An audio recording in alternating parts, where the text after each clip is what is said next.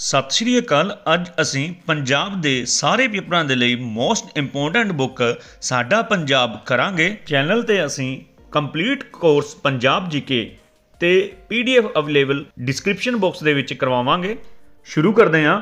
ਪਾਠ ਨੰਬਰ 4 ਪੰਜਾਬ ਦਾ ਮੱਧਕਾਲੀਨ ਇਤਿਹਾਸ। ਪਾਠ ਨੰਬਰ 4 ਪੰਜਾਬ ਦਾ ਮੱਧਕਾਲੀਨ ਇਤਿਹਾਸ।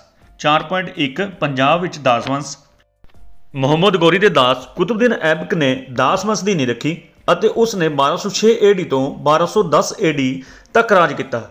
ਇਸ ਤੋਂ ਪਿੱਛੋਂ ਇੱਕ ਹੋਰ ਸਫਲ ਸ਼ਾਸਕ ਸੁਲਤਾਨ ਇਲਤੁਤਮਿਸ ਆਇਆ, ਜਿਸ ਨੇ 26 ਸਾਲ ਰਾਜ ਕੀਤਾ। ਇਲਤੁਤਮਿਸ ਮਗਰੋਂ ਇਸ ਕੁਲ ਦੀ ਮਹੱਤਵਪੂਰਨ ਸ਼ਾਸਕ ਰਜਿਆ ਸੀ। ਪ੍ਰਤੱਖ ਰੂਪ ਵਿੱਚ ਉਹ ਭਾਰਤ ਦੀ ਪਹਿਲੀ ਮਹਿਲਾ ਸ਼ਾਸਕ ਸੀ। ਇੱਕ ਹਫਸੀ ਦਾਸ ਜਲਾਲ ਉਦ-ਦਿਨ ਯਾਕੁਟ ਨਾਲ ਪੱਖਪਾਤੀ ਵਤੀਰੇ ਕਾਰਨ ਤੁਰਕ ਰਈਸਾਂ ਨੇ ਉਸ ਖਿਲਾਫ ਵਿਦਰੋਹ ਕਰ ਦਿੱਤਾ ਸੀ। ਉਸ ਦਾ ਪਹਿਲਾ ਵਿਦਰੋਹੀ ਬਠਿੰਡੇ ਦਾ ਗਵਰਨਰ ਮਲਿਕ ਇਖਤਿਆਰ ਉਦਦੀਨ ਅਲਤੂਨੀ ਸੀ। ਉਸ ਨੇ ਯਾਕੁਟ ਨੂੰ ਮਾਰ ਕੇ ਰਜੀਆ ਨੂੰ ਬੰਦੀ ਬਣਾ ਲਿਆ, ਮਗਰੋਂ ਇਨ੍ਹਾਂ ਹਾਲਾਤਾਂ ਤੋਂ ਬਚਣ ਲਈ ਰਜੀਆ ਨੇ ਅਲਤੂਨੀ ਨਾਲ ਵਿਆਹ ਕਰਵਾ ਲਿਆ। ਪਰ ਅਜਿਹਾ ਕਰਕੇ ਵੀ ਉਹ ਆਜ਼ਾਦ ਨਾ ਹੋ ਸਕੀ। 1240 ਈਸਵੀ ਵਿੱਚ ਦਿੱਲੀ ਦੇ ਰਾਹ ਤੇ ਕੈਂਥਲ ਨੇੜੇ ਉਸ ਦੀ, ਉਸ ਦੇ ਪਤੀ ਸਮੇਤ ਬਹਿਰਾਮ ਖਾਨ ਵੱਲੋਂ ਹੱਤਿਆ ਕਰ ਦਿੱਤੀ ਗਈ। ਇਸ ਤਰ੍ਹਾਂ 3 ਸਾਲ ਅਤੇ ਕੁਝ ਕੁ ਮਹੀਨਿਆਂ ਦੇ ਰਾਜਕਾਲ ਮਗਰੋਂ ਬੇਬਸੀ ਵਿੱਚ ਹੀ ਰਜੀਆ ਦੀ ਮੌਤ ਹੋ ਗਈ। ਰਜੀਆ ਤੋਂ ਬਾਅਦ ਬਹਿਰਾਮ ਰਾਜਾ ਬਣਿਆ ਅਤੇ ਲਗਭਗ 2 ਸਾਲ ਸ਼ਾਸਨ ਕੀਤਾ। ਇਸ ਘਰਾਣੇ ਦਾ ਅਗਲਾ ਮਹੱਤਵਪੂਰਨ ਸ਼ਾਸਕ ਗਿਆਸੂ ਉਦ-ਦਿਨ ਬਲਬਨ ਸੀ। ਉਸ ਨੇ 1246 ਏਡੀ ਤੋਂ 1286 ਏਡੀ ਤੱਕ ਦੇਸ਼ ਦੇ ਨਿਯਮਿਤ ਤੌਰ ਤੇ ਰਾਜ ਕੀਤਾ। 20 ਸਾਲਾਂ ਲਈ ਸੁਲਤਾਨ ਨਾਸਿਰ ਉਦ ਦਿਨ ਮੁਹੰਮਦ ਦੇ ਪ੍ਰਧਾਨ ਮੰਤਰੀ ਹੋਣ ਦੇ ਨਾਂ ਤੇ ਅਤੇ 20 ਸਾਲਾਂ ਲਈ ਦਿੱਲੀ ਦੇ ਸੁਲਤਾਨ ਰੂਪ ਚ ਰਿਹਾ। ਮੁਸਲਮਾਨਾਂ ਦੁਆਰਾ ਕੀਤੇ ਜਾਣ ਵਾਲੇ ਹਮਲੇ ਤੋਂ ਬਚਾਅ ਲਈ ਸਰਹੰਦ ਵਿਖੇ ਇੱਕ ਵੱਡਾ ਕਿਲਾ ਬਣਾਇਆ ਗਿਆ। ਮੁਗਲ ਝੜਪਾਂ ਲਈ ਪਹਿਲਾਂ ਹੀ ਭਾਰਤ ਤੇ ਲਾਲਚੀ ਅੱਖਾਂ ਟਿਕਾਈ ਬੈਠੇ ਸਨ। ਬਲਬਨ ਨੇ ਆਪਣੇ ਚਚੇਰੇ ਭਰਾ ਸ਼ੇਰ ਖਾਨ ਨੂੰ ਸਰਹੰਦ ਅਤੇ ਨਾਲ ਲੱਗਦੇ ਇਲਾਕਿਆਂ ਦਾ ਗਵਰਨਰ ਬਣਾਇਆ। ਉਹ ਸ਼ਕਤੀਸ਼ਾਲੀ ਗਵਰਨਰ ਸੀ, ਜੋ ਬਹੁਤ ਹਿੰਮਤ ਵਾਲਾ ਸੀ। ਉਸ ਨੇ ਕੁਸ਼ਲਤਾ ਨਾਲ ਮੰਗੋਲੀਆਂ ਦੁਆਰਾ ਕੀਤੀ ਘੁਸਪੈਠ ਨੂੰ ਨਕਾਰਾ ਕੀਤਾ। ਸਰਹੰਦ ਦਾ ਗਵਰਨਰ ਹੋਣ ਦੇ ਨਾਂ ਤੇ ਉਹ ਇੰਨਾ ਸ਼ਕਤੀਸ਼ਾਲੀ ਤੇ ਪ੍ਰਭਾਵਸ਼ਾਲੀ ਹੋ ਗਿਆ ਕਿ ਬਲਬਨ ਨੇ ਉਸ ਨੂੰ ਆਪਣੀ ਹੋਂਦ ਲਈ ਖਤਰਾ ਸਮਝਣਾ ਸ਼ੁਰੂ ਕੀਤਾ। ਇਸ ਤਰ੍ਹਾਂ ਉਸ ਨੇ ਸ਼ੇਰ ਖਾਨ ਨੂੰ ਜ਼ਹਿਰ ਦਿੱਤਾ ਅਤੇ ਆਪਣੇ ਸਭ ਤੋਂ ਵੱਡੇ ਸੁਪੁੱਤਰ ਰਾਜਕੁਮਾਰ ਸੁਲਤਾਨ ਨੂੰ ਸਰਹੰਦ ਦਾ ਗਵਰਨਰ ਨਿਯੁਕਤ ਕੀਤਾ। ਆਪਣੇ ਪਿਤਾ ਦੀ ਮਹਾਨ ਯੋਗਤਾ ਅਤੇ ਪੂਰੀ ਸੰਤੁਸ਼ਟੀ ਨਾਲ ਰਾਜਕੁਮਾਰ ਸੁਲਤਾਨ ਨੇ ਇਸ ਸਰਹੱਦੀ ਖੇਤਰ ਨੂੰ ਕੁਸ਼ਲਤਾਪੂਰਵਕ ਚਲਾਇਆ। 1285 ਈਸਵੀ ਵਿੱਚ ਮੰਗੋਲਾਂ ਦੇ ਖਿਲਾਫ ਲੜਾਈ ਵਿੱਚ ਮਾਰੇ ਜਾਣ ਤੱਕ ਲੜਾਈ ਕੀਤੀ। ਬਲਬਨ ਇਸ ਦੁਖਾਂਤ ਤੋਂ ਉੱਭਰ ਨਾ ਸਕਿਆ ਅਤੇ 40 ਸਾਲਾਂ ਦੇ ਸ਼ਾਸਨ ਤੋਂ ਬਾਅਦ ਉਸ ਦਾ ਦਿਲ ਟੁੱਟ ਗਿਆ। ਕਾਇਕੂਬਾੜ ਦਾਸ ਵੰਸ਼ ਦਾ ਆਖਰੀ ਬਾਦਸ਼ਾਹ ਸੀ। ਉਹ ਇੱਕ ਕਮਜ਼ੋਰ ਸ਼ਾਸਕ ਸੀ। ਇਸ ਤੋਂ ਜਲਾਲੁਦੀਨ ਨੇ ਦਿੱਲੀ ਦਾ ਤਖਤ ਖੋਹ ਲਿਆ। 4.2 ਖਿਲਜੀ ਰਾਜਵੰਸ਼ ਅਧੀਨ ਪੰਜਾਬ। ਖਿਲਜੀ ਰਾਜਵੰਸ਼ ਦੇ ਸੰਸਥਾਪਕ ਜਲਾਲ ਉਦ ਦਿਨ ਖਿਲਜੀ ਸਨ। ਅੱਲਾ ਉਦ ਦਿਨ ਖਿਲਜੀ ਦਾ 1925 ਏਡੀ ਵਿੱਚ ਉਸਦੇ ਭਾਣਜੇ ਨੇ ਹੀ ਕਤਲ ਕਰ ਦਿੱਤਾ ਸੀ। ਅੱਲਾ ਉਦ ਦਿਨ ਇਸ ਵੰਸ਼ ਦਾ ਸਭ ਤੋਂ ਸ਼ਕਤੀਸ਼ਾਲੀ ਸ਼ਾਸਕ ਸੀ। ਉਸ ਦੇ ਕਾਰਜਕਾਲ ਦੌਰਾਨ ਮੰਗੋਲੀਅਨ ਨੇ ਪੰਜਾਬ ਦੇ ਗਵਰਨਰ ਤੁਗਲ ਖਾਨ ਤੇ ਵੱਡੀ ਫੌਜ ਨਾਲ ਹਮਲਾ ਕੀਤਾ, ਪਰ ਉਸ ਨੇ ਦੁਸ਼ਮਣ ਤੇ ਲਸਾਨੀ ਜਿੱਤ ਪ੍ਰਾਪਤ ਕੀਤੀ। ਅੱਲਾ ਉਦ ਦਿਨ 1316 ਈਸਵੀ ਵਿੱਚ ਲਗਭਗ 20 ਸਾਲਾਂ ਦੇ ਰਾਜ ਬਾਅਦ ਮਰ ਗਿਆ। 4.3 ਪੰਜਾਬ ਵਿੱਚ ਤੁਗਲਕ ਵੰਸ਼। ਪੰਜਾਬ ਵਿੱਚ ਤੁਗਲਕ ਵੰਸ਼ ਦੀ ਨੀਂਹ 1320 ਈਸਵੀ ਵਿੱਚ ਗਿਆਸੂ ਉਦ ਦਿਨ ਤੁਗਲਕ ਨੇ ਰੱਖੀ। ਮੁਹੰਮਦ ਤੁਗਲਕ ਅਤੇ ਫਿਰੋਜ਼ ਸ਼ਾਹ ਤੁਗਲਕ ਇਸ ਵੰਸ਼ ਦੇ ਮਹੱਤਵਪੂਰਨ ਸ਼ਾਸਕ ਹੋਏ ਹਨ। ਮੁਹੰਮਦ ਤੁਗਲਕ ਇੱਕ ਦੁਰਅੰਦੇਸ਼ੀ ਪ੍ਰਵਕਤਾ ਸੀ। ਜਦੋਂ ਕੀ ਫਿਰੋਜ਼ ਸ਼ਾਹ ਤੁਗਲਕ ਕਿਰਿਆਤਮਕ ਪਰਿਵਰਤੀ ਦਾ ਮਾਲਕ ਸੀ? ਫਿਰੋਜ਼ ਸ਼ਾਹ ਤੁਗਲਕ ਨੇ ਖੇਤੀਬਾੜੀ ਵਿੱਚ ਸੁਧਾਰ ਲਿਆਉਣ ਲਈ ਕਈ ਯਤਨ ਕੀਤੇ, ਸਿੰਚਾਈ ਲਈ ਕਈ ਨਹਿਰਾਂ ਬਣਾਈਆਂ ਗਈਆਂ। ਦਰਿਆ ਸਤਲੁਜ ਤੋਂ ਪੰਜਾਬ ਦੇ ਖੇਤਰਾਂ ਵਿੱਚ ਸਿੰਚਾਈ ਲਈ ਇੱਕ ਨਹਿਰ ਪਟਵਾਈ ਗਈ। ਉਹ ਨਵੇਂ ਸ਼ਹਿਰ ਵਸਾਉਣ ਦਾ ਸ਼ੌਕੀਨ ਸੀ। ਦੂਜੇ ਸ਼ਹਿਰਾਂ ਦੇ ਨਾਲ-ਨਾਲ ਉਸ ਨੇ ਪੰਜਾਬ ਵਿੱਚ ਸ਼ਹਿਰ ਫਿਰੋਜ਼ਪੁਰ ਵਸਾਇਆ। ਫਿਰੋਜ਼ਸ਼ਾਹ ਮਗਰੋਂ ਕਈ ਕਮਜ਼ੋਰ ਸ਼ਾਸਕਾਂ ਕਾਰਨ ਦਿੱਲੀ ਸਲਤਨਤ ਢਹਿ ਢੇਰੀ ਹੋ ਗਈ। ਦਿੱਲੀ ਸਲਤਨਤ ਦੀ ਇਸੇ ਨਿਗਰ ਦੀ ਹਾਲਤ ਕਾਰਨ ਹੀ 1398 ਈਸਵੀ ਵਿੱਚ ਤੈਮੂਰ ਨੇ ਭਾਰਤ ਤੇ ਹਮਲਾ ਕਰ ਦਿੱਤਾ। ਦਿੱਲੀ ਸਲਤਨਤ ਕਮਜ਼ੋਰ ਹੋਣ ਕਾਰਨ ਤੈਮੂਰ ਦਾ ਮੁਕਾਬਲਾ ਨਾ ਕਰ ਸਕੀ, ਸੋ ਤੈਮੂਰ ਨੇ ਬੁਰੀ ਤਰ੍ਹਾਂ ਇਸ ਦੇਸ਼ ਦੀ ਲੁੱਟ-ਖਸੁੱਟ ਕੀਤੀ। ਕਾਫੀ ਮਾਤਰਾ ਵਿੱਚ ਲੁੱਟ ਦਾ ਸਮਾਨ ਇਕੱਠਾ ਕਰਨ ਮਗਰੋਂ ਉਹ ਪੰਜਾਬ ਦੇ ਰਾਹ ਆਪਣੇ ਦੇਸ਼ ਵਾਪਸ ਮੁੜ ਗਿਆ। ਅਜਿਹਾ ਪ੍ਰਤੀਤ ਹੁੰਦਾ ਹੈ ਕਿ ਉਹ ਜ਼ਿਲ੍ਹਾ ਅੰਬਾਲਾ, ਰੂਪਨਗਰ, ਹੁਸ਼ਿਆਰਪੁਰ ਅਤੇ ਕਾਂਗੜਾ ਵੱਲੋਂ ਦੀ ਪਠਾਨਕੋਟ ਵਿੱਚੋਂ ਦੀ ਹੁੰਦਾ ਹੋਇਆ ਜੰਮੂ ਪਹੁੰਚਿਆ। ਵਾਪਸ ਜਾਂਦਿਆਂ ਉਸ ਦੇ ਰਾਹ ਵਿੱਚ ਜੋ ਵੀ ਆਇਆ ਉਸ ਨੇ ਤਹਿਸ-ਨਹਿਸ ਕਰ ਦਿੱਤਾ। ਅਜਿਹੀ ਵੀ ਸ਼ੰਕਾ ਹੈ ਕਿ ਰੂਪਨਗਰ ਦੀਆਂ ਪਹਾੜੀਆਂ ਵਿੱਚ ਰਤਨ ਸਿੰਘ ਨਾਮ ਦੇ ਰਾਜੇ ਨੇ ਉਸ ਦਾ ਵਿਰੋਧ ਕੀਤਾ ਸੀ, ਪਰ ਉਹ ਹਾਰ ਗਿਆ। 4.4 ਪੰਜਾਬ ਵਿੱਚ ਸੈਯਦ ਅਤੇ ਲੋਧੀ ਵੰਸ਼। ਸੈਯਦ ਵੰਸ਼ ਦਾ ਮੋਢੀ ਖਿਜਰ ਖਾਨ ਸੀ। ਉਹ 1414 ਈਸਵੀ ਵਿੱਚ ਤਖਤ ਤੇ ਬੈਠਿਆ। ਪਹਿਲਾਂ ਉਹ ਤੈਮੂਰ ਵੱਲੋਂ ਨਿਯੁਕਤ ਕੀਤਾ ਗਿਆ। ਪੰਜਾਬ ਦਾ ਗਵਰਨਰ ਸੀ। ਉਸ ਦੇ ਰਾਜਕਾਲ ਦੌਰਾਨ ਸਰਹੰਦ ਦੇ ਤਾਕਤਵਰ ਗਵਰਨਰ ਸੁਲਤਾਨ ਸ਼ਾਹ ਲੋਧੀ ਨੇ ਸਾਰੰਗ ਖਾਨ ਨੂੰ ਹਰਾਇਆ ਸੀ। ਸਾਰੰਗ ਖਾਨ ਨੇ ਖਿਜਰ ਖਾਨ ਦੀ ਹਕੂਮਤ ਮੰਨਣ ਤੋਂ ਇਨਕਾਰ ਕਰ ਦਿੱਤਾ ਸੀ। ਸਾਰੰਗ ਖਾਨ ਸ਼ਿਵਾਲਿਕ ਦੀਆਂ ਪਹਾੜੀਆਂ ਵਿੱਚ ਲੁਕ ਗਿਆ ਅਤੇ ਮਗਰੋਂ ਉਸ ਨੂੰ ਰੂਪਨਗਰ ਵਿੱਚ ਮੁੜ ਹਾਰ ਦਾ ਸਾਹਮਣਾ ਕਰਨਾ ਪਿਆ। 1421 ਈਸਵੀ ਵਿੱਚ ਖਿਜਰ ਖਾਨ ਮਗਰੋਂ ਮੁਬਾਰਕ ਸ਼ਾਹ ਆਇਆ। ਉਸ ਨੇ ਸ਼ਾਸਨ ਦੌਰਾਨ ਹੀ ਖੋਖਰਾਂ ਦੇ ਮੁਖੀ ਜਸਰਤ ਨੇ ਉੱਜੜ ਚੁੱਕੀ ਦਿੱਲੀ ਵਿੱਚ ਆਪਣਾ ਰਾਜ ਸਥਾਪਿਤ ਕਰਨਾ ਚਾਹਿਆ। ਉਸ ਨੇ ਪਹਿਲਾਂ ਹੀ ਪੰਜਾਬ ਵਿੱਚ ਰੂਪਨਗਰ ਅਤੇ ਸਰਹੰਦ ਤੱਕ ਤਬਾਹੀ ਮਚਾਈ ਹੋਈ ਸੀ। ਉਸਨੇ ਜਲੰਧਰ ਤੋਂ ਲਾਹੌਰ ਤੱਕ ਦੇ ਇਲਾਕਿਆਂ ਦੇ ਗਵਰਨਰ ਅਲਾਦਾਦ ਨੂੰ ਵੀ ਹਰਾ ਦਿੱਤਾ। ਪਰ ਬਾਅਦ ਵਿੱਚ ਜਸਰਤ ਦੀ ਮੌਤ ਹੋ ਗਈ। ਮੁਬਾਰਕ ਸ਼ਾਹ ਮਗਰੋਂ ਮੁਹੰਮਦ ਸ਼ਾਹ ਅਤੇ ਅਲਾਉਦੀਨ ਆਲਮ ਸ਼ਾਹ ਆਏ। ਅਲਾਉਦੀਨ ਆਲਮ ਸ਼ਾਹ ਨੇ ਦਿੱਲੀ ਦੀ ਬਜਾਏ ਬਦਾਊਂ ਵਿੱਚ ਰਹਿਣ ਦਾ ਮਨ ਬਣਾ ਲਿਆ ਸੀ। ਪ੍ਰਸ਼ਾਸਨ ਦੀ ਦੇਖਰੇਖ ਲਈ ਉਸ ਨੇ ਦਿੱਲੀ ਵਿੱਚ ਗਵਰਨਰ ਨਿਯੁਕਤ ਕੀਤਾ। ਇਸ ਮੌਕੇ ਦਾ ਲਾਭ ਉਠਾਉਂਦਿਆਂ 1451 ਵਿੱਚ ਬਹਿਲੋਲ ਲੋਧੀ ਨੇ ਦਿੱਲੀ ਤੇ ਕਬਜ਼ਾ ਕਰ ਲਿਆ ਅਤੇ ਇੱਕ ਨਵੇਂ ਵੰਸ਼ ਲੋਧੀ ਵੰਸ਼ ਦੀ ਸਥਾਪਨਾ ਕੀਤੀ। ਬਹਿਲੋਲ ਲੋਧੀ ਦੇ ਦਿੱਲੀ ਤੇ ਕਬਜ਼ਾ ਹੋਣ ਮਗਰੋਂ ਪੰਜਾਬ ਹੁਣ ਦਿੱਲੀ ਦੀ ਮੁਸੀਬਤ ਦਾ ਰਾਹ ਨਾ ਰਿਹਾ।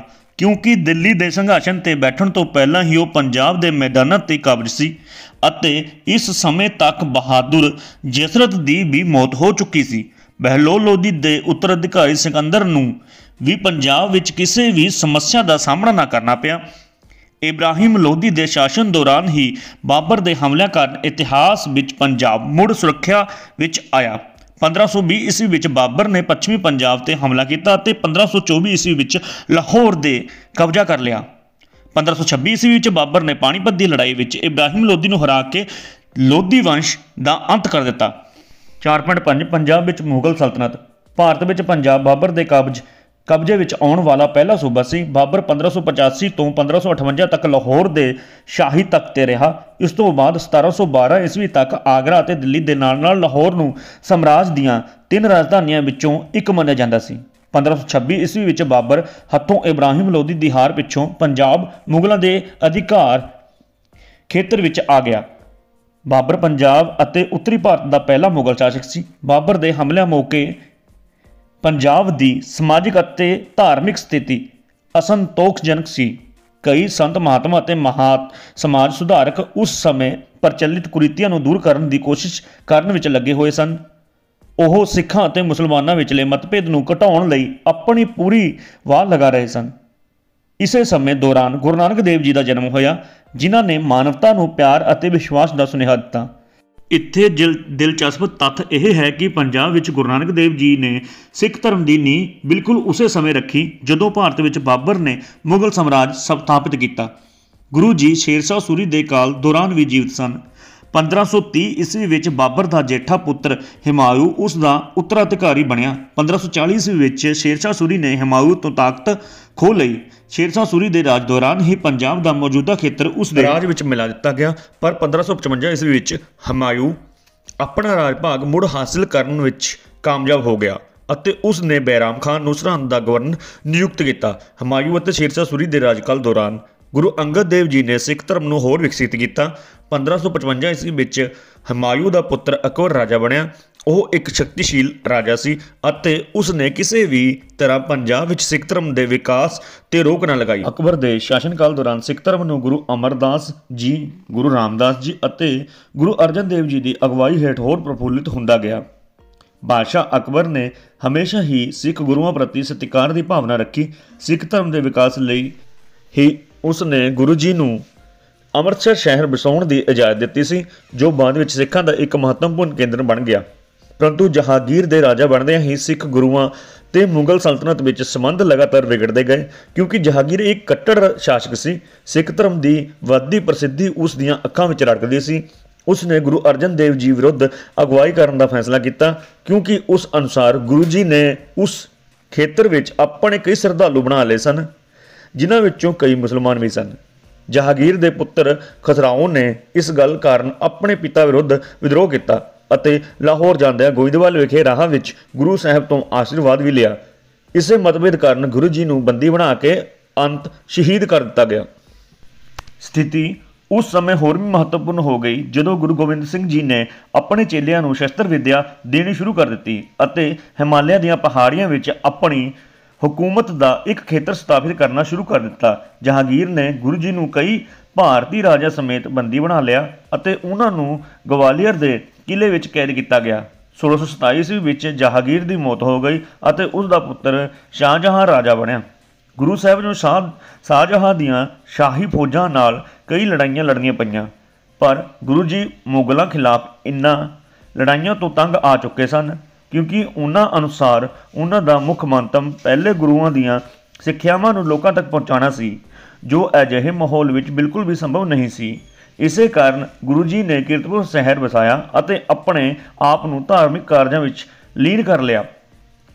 ਗੁਰੂ ਹਰਰਾਜ ਜੀ, ਜੋ ਕਿ ਗੁਰੂ ਗੋਬਿੰਦ ਸਿੰਘ ਜੀ ਦੇ ਉੱਤਰਾਧਿਕਾਰੀ ਅਤੇ ਪੋਤਰੇ ਸਨ, ਆਪਣੇ ਦਾਦਾ ਜੀ ਨਾਲੋਂ ਕਾਫੀ ਵੱਖਰੇ ਸੁਭਾਅ ਦੇ ਸਨ। ਉਹਨਾਂ ਨੇ ਇੱਕ ਵੱਡੀ ਫੌਜ ਦੇ ਨਾਲ-ਨਾਲ ਇੱਕ ਸ਼ਾਨਦਾਰ ਕਚਹਿਰੀ ਵੀ ਸਥਾਪਿਤ ਕੀਤੀ। ਇਹ ਸ਼ਾਹਜਹਾਂ ਦੀ ਬਦਕਿਸਮਤੀ ਹੀ ਸੀ ਕਿ 1658 ਈਸਵੀ ਵਿੱਚ ਉਸ ਦੇ ਪੁੱਤਰ ਔਰੰਗਜ਼ੇਬ ਨੇ ਉਸ ਨੂੰ ਗੱਦੀ ਤੋਂ ਲਾ ਦਿੱਤਾ ਅਤੇ ਉਸ ਵੱਲੋਂ ਹੀ ਚੁਣੇ ਗਏ ਉਸ ਦੇ ਜੇਠੇ ਪੁੱਤਰ ਅਤੇ ਉੱਤਰਾਧਿਕਾਰੀ ਦਾਰਾ ਕਿਸ਼ੋਰ ਨੂੰ ਹੀ ਹਰਾ ਦਿੱਤਾ। ਸ਼ਾਹਜਹਾਂ ਦੀ ਜ਼ਿੰਦਗੀ ਦਾ ਬਾਕੀ ਸਮਾਂ 1658 ਤੋਂ 1666 ਆਗਰਾ ਜੇਲ੍ਹ ਵਿੱਚ ਕੈਦੀ ਵਜੋਂ ਬੀਤਿਆ। ਔਰੰਗਜ਼ੇਬ ਨੇ 1659 ਵਿੱਚ ਵਿਵਹਾਰਿਕ ਰੂਪ ਵਿੱਚ ਆਪਣੀ ਤਾਸਪੋਸ਼ੀ ਕੀਤੀ ਅਤੇ ਨਿਸੰਦੇ ਅਕਬਰ ਤੇ ਉੱਤਰਾਧਿਕਾਰੀਆਂ ਵਿੱਚੋਂ ਉਹ ਸਭ ਤੋਂ ਪ੍ਰਬਲ ਲੜਾਕੂ ਸੀ। ਦਾਰਕਸ਼ੋ ਵੱਲੋਂ ਗੁਰੂ ਹਰਰਾਏ ਜੀ ਤੋਂ ਆਸ਼ੀਰਵਾਦ ਲੈਣਾ ਔਰੰਗਜ਼ੇਬ ਨੂੰ ਚੰਗਾ ਨਾ ਲੱਗਾ ਅਤੇ ਗੁਰੂ ਜੀ ਨੂੰ ਇਸ ਵਰਤਾਰੇ ਲਈ ਸੰਮਨ ਭੇਜ ਕੇ ਸਫ਼ਾਈ ਮੰਗੀ ਗਈ। 1601 ਈਸਵੀ ਵਿੱਚ ਗੁਰੂ ਜੀ ਜੋਤੀ ਜੋਤ ਸਮਾ ਗਏ ਅਤੇ ਗੁਰੂ ਗੱਦੀ ਗੁਰੂ ਹਰਕ੍ਰਿਸ਼ਨ ਜੀ ਨੂੰ ਸੌਂਪ ਗਏ। ਗੁਰੂ ਹਰਕ੍ਰਿਸ਼ਨ ਜੀ ਬਚਪਨ ਤੋਂ ਹੀ ਸਾਧਨਾ ਵਿੱਚ ਲੀਨ ਰਹਿੰਦੇ ਸਨ ਅਤੇ ਸਿੱਖਾਂ ਵਿੱਚ ਉਹਨਾਂ ਪ੍ਰਤੀ ਅਸੀਮ ਪਿਆਰ ਤੇ ਸਰਦਾ ਸੀ।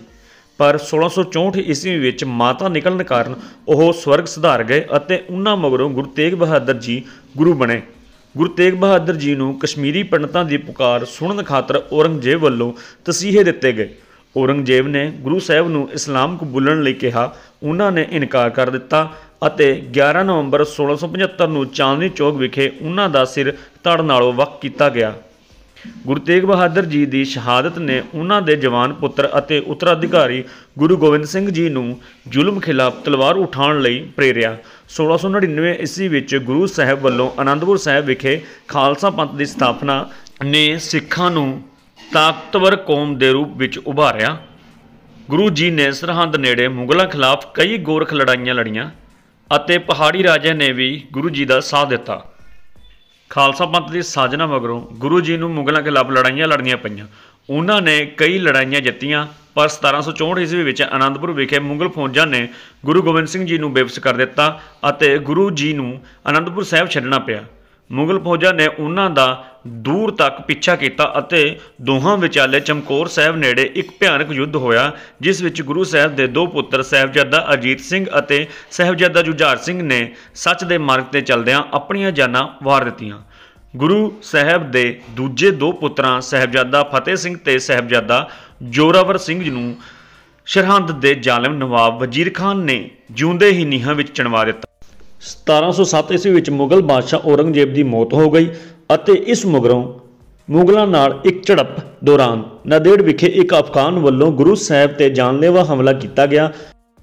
ਪਰ ਉਹਨਾਂ ਦੇ ਸ਼ਾਗਿਰਦ ਬੰਦਾ ਬਹਾਦਰ ਦੀ ਅਗਵਾਈ ਹੇਠ ਮੁੱਖ ਵਿਦਰੋਹ ਪਹਿਲਾਂ ਸਰਹੰਦ ਅਤੇ ਫਿਰ ਲਾਹੌਰ ਵਿਖੇ ਹੋਇਆ।